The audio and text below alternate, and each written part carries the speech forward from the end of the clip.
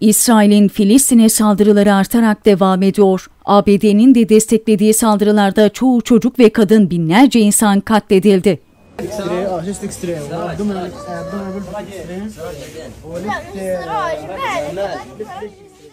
ABD destekli İsrail'in saldırılarına dünyadan tepkiler artarken Hollanda'da yaşayan ABD'li genç bir kız elinde hoparlörle Hollanda Amerika elçiliğinin önünde sizden utanıyorum Özgür Filistin." diye haykırdı.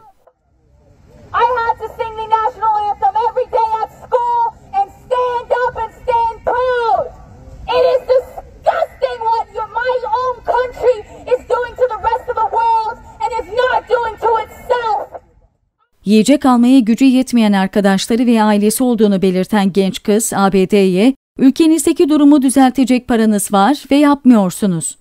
Çünkü benim vergilerimle çocukları öldürmekle meşgulsünüz. Utanın katiller, yazıklar olsun diye tepki gösterdi.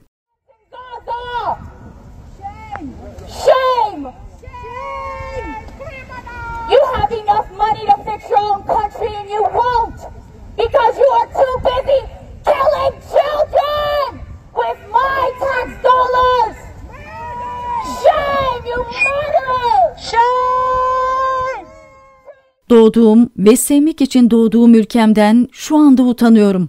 Okulda her gün ayağa kalkıp gururla milli marşı söylemek zorundayım. Benim ülkemin reva görmediğini, dünyanın geri kalanına yapması mide bulandırıcı.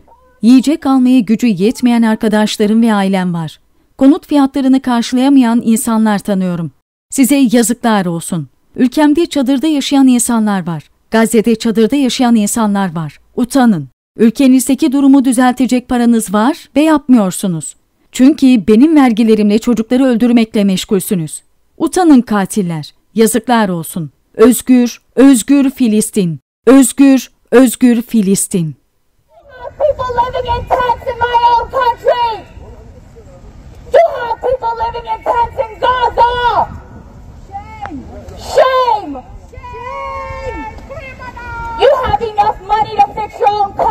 You